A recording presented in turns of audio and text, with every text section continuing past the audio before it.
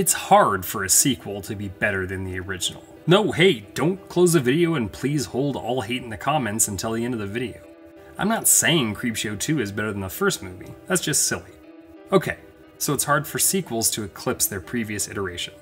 Godfather 2 is always the answer to that, but there are other things that you can prefer.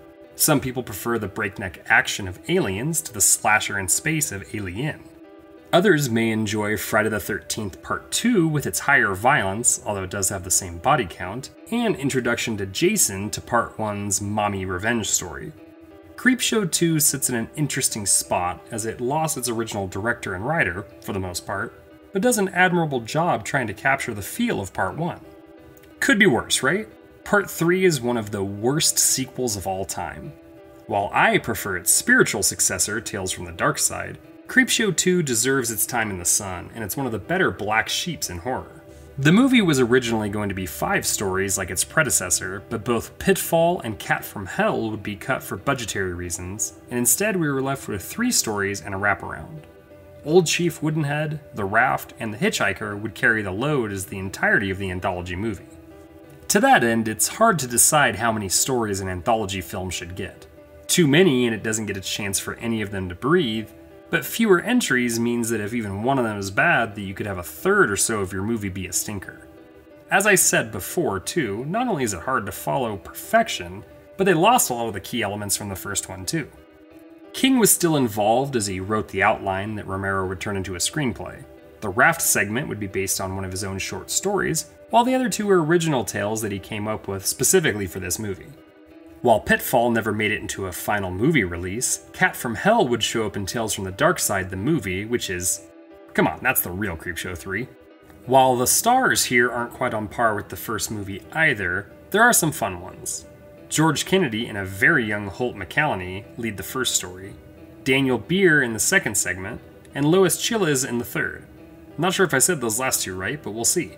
George Kennedy is the Oscar winning actor that was old Hollywood, but made it all the way into the early 2010s. While he won his Academy Award for the timeless Cool Hand Luke, he was also an incredible part of the Police Squad show and later Naked Gun series of films.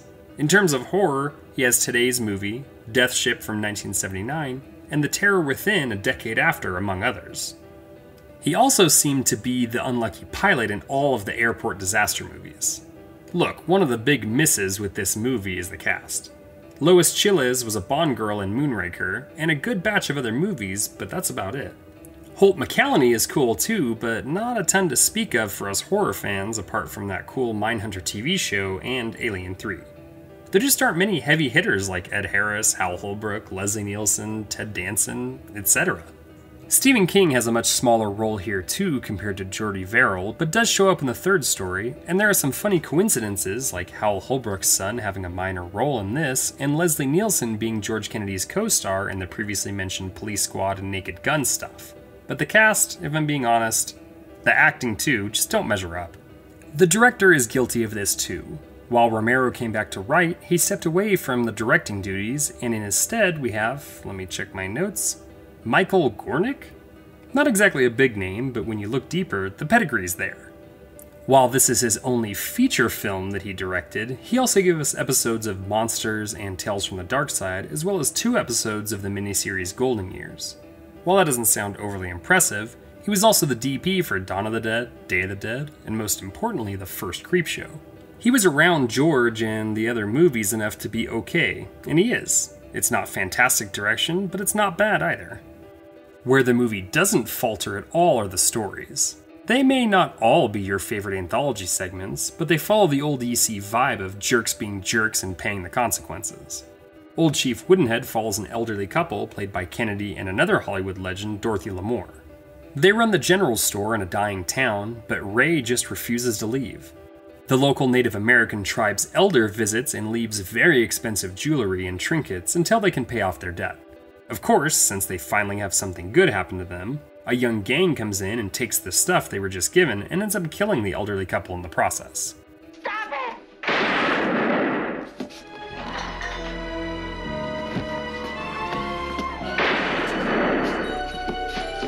The story is called Old Chief Woodenhead for a reason, however, and the wooden Native American that Ray was painting and has in front of the store comes alive and gets his vengeance for the death of his friends.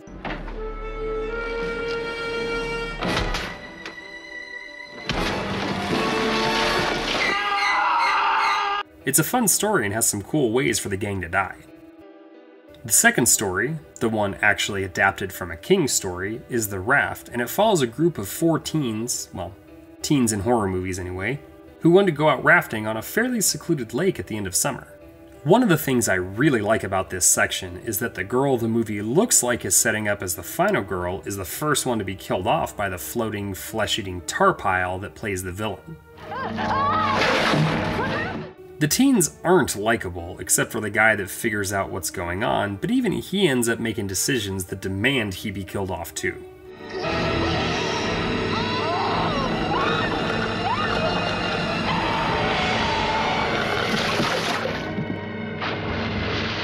The special effects here shine as well.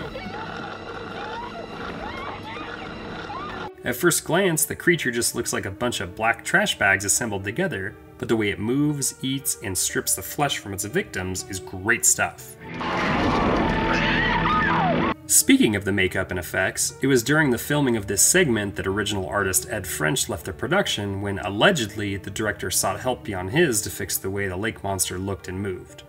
Apparently, he was offended and left, but ended up being replaced by Howard Berger and Greg Nicotero. This is also fitting as Tom Savini plays the creep in the live action segments featuring the character.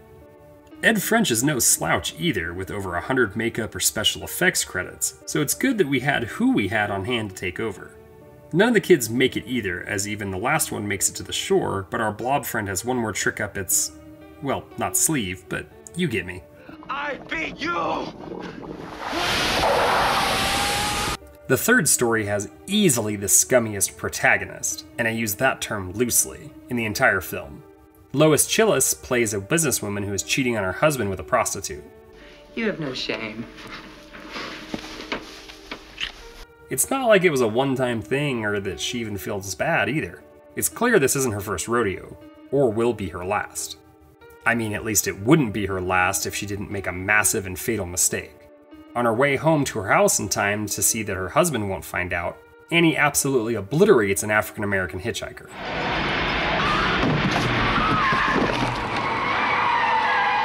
Of course, instead of doing the right thing, she merely drives off.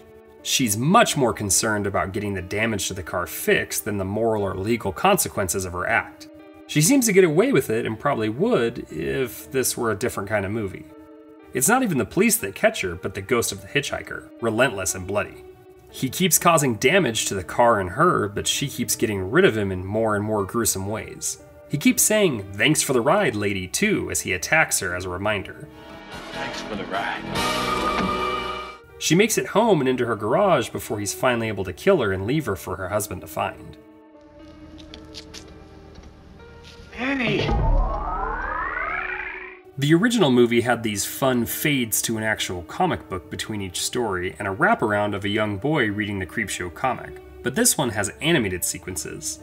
It also has live action segments at the very beginning and end, but the animated ones also help it stand out. They serve dual purposes. One is that there are only three stories here instead of five, so it helps pad out the runtime.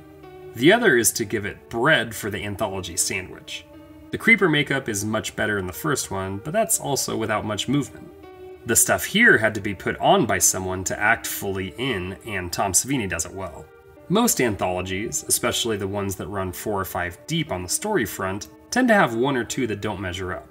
While all these aren't 10 out of 10, none of them fall flat and are entertaining even if they could all just be episodes of Tales from the Crypt later on. The Creepshow series, that's the three movies, not the actual Shudder TV series, gets kind of a bad rap after the first one. Creepshow and Creepshow 3 are at opposite ends of the spectrum when it comes to quality, but Part 2 is a hell of a lot closer to 1 in terms of being good. Its biggest issue, like so many good horror sequels, is that it's just not as good as, and directly follows, its amazing predecessor. While the first flick is getting all kinds of attention with 4K releases, and the show is really being more based on it, give Creepshow 2 the love it deserves.